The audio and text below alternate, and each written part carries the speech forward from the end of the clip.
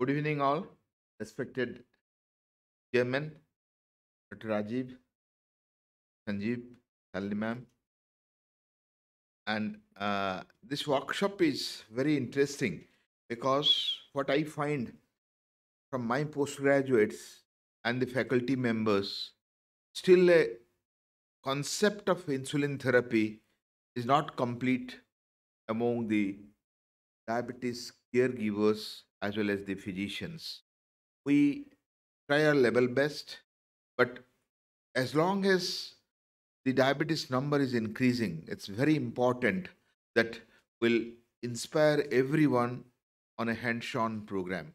So this contains very brief lecturers followed by hands-on program as already briefed by uh, our uh, uh, chair and I'll be taking you through a case-based discussion followed by a demonstration of injection technique. And i wish more people should have attended.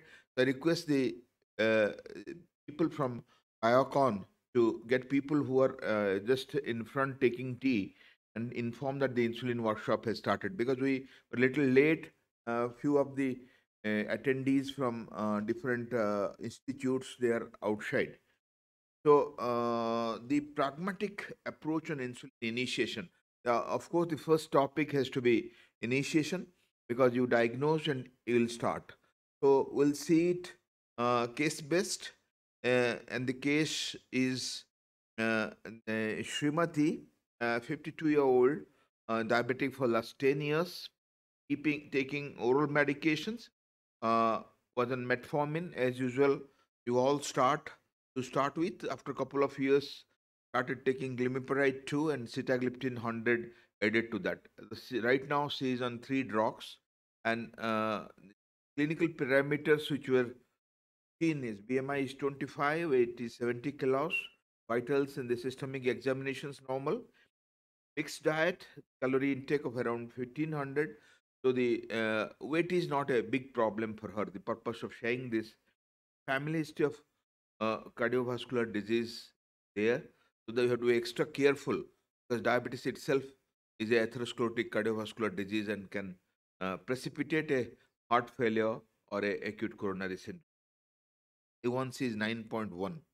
We are not very happy looking to the A1C. 182 is the first thing and the PP is 244. What next? Patient is already on metformin, glimepiride, and sitagliptin.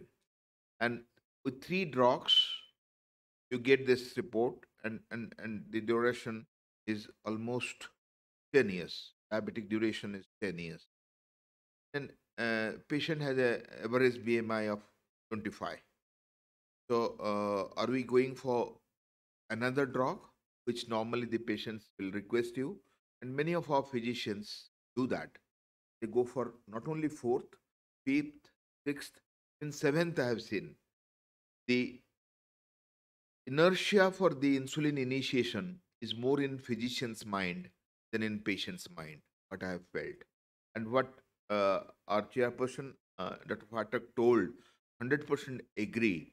The earlier you get, the better players in the diabetic game, you get better outcome. So I'll prefer to put her on insulin and I'll give my valuable time, say half an hour, say one hour, to convince her why insulin. Please do that. Don't go by the patient's word. People, doctors think that the patient will be lost and go to the other physician, and they start aiding uh, SGLT2 inhibitors, aiding uh, uh, glitazones, uh, aiding hydroxychloroquine, and then whatnot. So, so it, it, it's not the guideline, it's not the science that we are practicing. Should another OHA be added? How many of you think? Please raise your hand. That's good. Have good attendees the workshop, not thinking of adding the fourth OAD. Why should we start insulin in this case? Let, let me reason out. Let us see the rationale for initiating insulin therapy with basal insulin. I'm showing you a graph where the diabetic, the plasma glucose is much higher. It starts higher, moves higher. and then non-diabetic is at the baseline. So hyperglycemia by elevated fasting is what you are seeing, and our purpose is to fix the fasting. While initiating insulin, our purpose is to get it at the baseline non-diabetic level and fix fasting first. All of you have heard that that if we are starting with a controlled blood glucose, day along the spikes and the uh, the, the, the, the, fluctu- the fluctuations or the, uh, the, the uh, levels of the blood glucose postprandially will be within our control. And this is a very clumsy slide guiding your decision cycle for the patient centered glycemic management in type 2 diabetes management. Assessing the key patient characteristics, considering the specific factors that impact choice of treatment, the shared decision making to create a management plan, agreeing on the management plan, implement management plan, ongoing monitoring and the support and review of agreeing on the management plan is a long story. So you have the patience to go through to convince your patient. Till physicians have not, have not accepted, till physicians have not developed the determination to motivate their patients to take, patient will never take. They have a very easy option of taking another drug. So, so this is a big chart that you have to follow to uh, to motivate your patient. And you know about the ADA approach to initiating titrating insulin in type 2 diabetes. Uh, starting of 10 units a day or 0.1 to 0.2 units per kg, adjusting 10 to 50 percent, that's four units once or twice weekly, and, and fasting target and the postprandial target of 130 and 180, you know. And once is not controlled, you can start combination injection therapy by uh, aiding one rapid acting insulin for the largest meal or by changing to premix insulin twice daily and and either the group you can add a glp-1 and then uh, still not controlled adding two rapid acting changing to premix uh, three times a day is given so all of you know about this approach and and this is what you have to remember type 2 diabetes getting basal insulin uh, with metformin or non-insulin agents at 10 units per day or 0.1 to 0.2 units per kg per day. So it's, it's average 10 units, units taken and you can up titrate weekly or bi-weekly testing the blood glucose. This is what uh, the, the, algorithm says and then this is the guideline which clearly tells you starting basal in long-acting insulin intensifying with prandial control.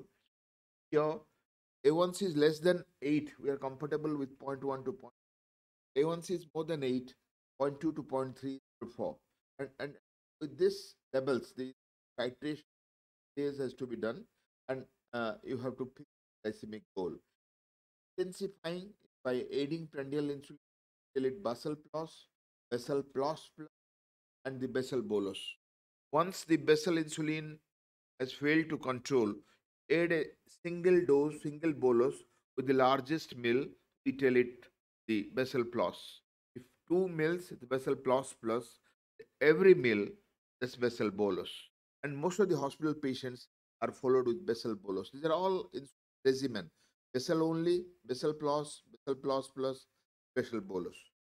An early and timely initiation of the insulin you get myocardial infarction down by 14%.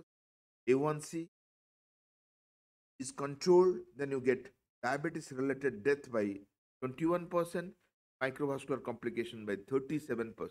For 1% decrease in A1C, get all these. And this is the impact of the intensive therapy. I've seen 100 times the slide of UKPDS and this is it, how the microvascular complications are down, how the cardiovascular disease is down and how the mortality is down in the patients well controlled with the lean as well as the oral drugs. What should be the ideal dose to start with? That already we have discussed that uh, this 0.1 to 0.2 to 0.3 A1C less than 8 more than 8 you are titrating and adjusting the dose. This is the AACE guideline, and the ADS picks about starting 10 units, what I showed you, and 0.1 to 0.2, and adjusting 10 to 15%, that 2 to 4 units once or twice, and weekly to reach fasting target. And if there is hypo, have to take steps accordingly. The next comes dose time, dose timing. Many people ask when should we give this basal dose? We know about the hepatic glucose output, and then throughout the night, the liver pours glucose to the circulation if the glycogen storage is intact, and that's what the fasting goes very high. So the patient has agreed administering the insulin, whether in the you want to give twice or uh, if you want to give in or give in the evening, that's that- that's important. And and when it should be given, and there's a lot and lot of lot many studies are conducted. You know, starting from NPH days, starting from the uh, glargine days, we have seen the effect. And once the, the, the 24 hours control is achieved, the, the blood glucose remains steady, and, and the ideal period that we prefer to give is before uh, dinner or evening so that the hepatic glucose output portion is taken care of and we get a good fasting I showed fixing the fasting first. So multiple doses as per the guideline you gave 10 units patient doesn't have control can you give in multiple doses this basal insulin? What is the evidence or what is the split dose? Who ask me i browse the literature. I'll prefer to increase the basal insulin dose but i don't prefer the treating dose of this uh, uh, basal insulin which can overlap because there are uh, uh, many there are three categories of basal insulin. One is a one uh, group which acts like NPH like it works around 12 hours. There are peakless insulins work, work for 4 hours, have uh, long acting analogs as well. This patient has returned after three months. Uh, and the, the data shows it's 8.9%. Fasting is 170, PP is 240. Patient came late. We usually titrate earlier than three months. So many times you get this, they're missed to follow up, they come late. So first thing you have to find out what can be the reason for poor all the instructions given regarding drug administrations. Important parameters is how many times the patient monitored, how often was monitored, and the different techniques of the injection, the correct or not. Following the workshop, we have three stations: the front, middle, and the back. And then I'm sure uh, you'll be happy to see the techniques how we should go about.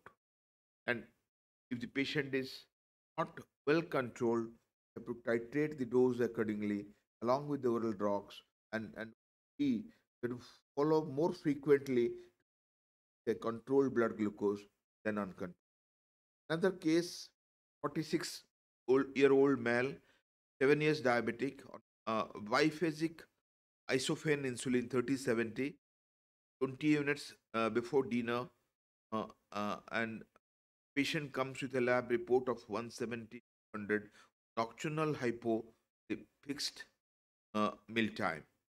So here the doctor decided to shift from biphasic to glargine how should you go about the dose? Biphasic uh, insulin said 3070 was once daily converting unit per unit and giving once daily gl- glargine and then uh, this is another case where uh, uh, this is a case we, we need to take up the discussions. I'll tell you the uh, uh, formula to convert in interest of time. Here, a 48 year old teacher, non diabetic 12 years, metformin and premixed insulin, uh, 30 units pre breakfast and 16 pre dinner with fasting 125, PP 210, A1C 7.5, again not controlled. So, here regarding premix to twice daily uh, uh, uh, um, the appropriate is associating with 80% of the total units of the N- NPH component of the premix. So suppose patient is on two doses, but the NPH component is around 100 units. Then you can start with 80 units of glargine doses. And, and, and last two slides, what are the rationale behind suggesting basal insulin in the first line treatment? The, the patient like a single dose, increase insulin sensitivity, improving beta cell function, improves A1C. What will suggest um, in my opinion, uh, patient can maximum accept a single prick when they are moving from the tablet. That helps. And then because the control becomes good, A1C becomes good, it helps all the way prevent the complications. Last slide, determining the basal dose. We discussed about the 0.1 to 0.2, 10 units, the calculation, the intensification, titration. So what do you consider? Body weight, diet composition, fasting blood glucose, pre-meal blood glucose, physical activity, physiological status, or all of the above. Obviously, all of the above, and you have to go by that. So, uh, thank you again uh, for the time and to uh, Biocon people for having such important workshop. Uh, we are there and will be happy to take up the discussions if any.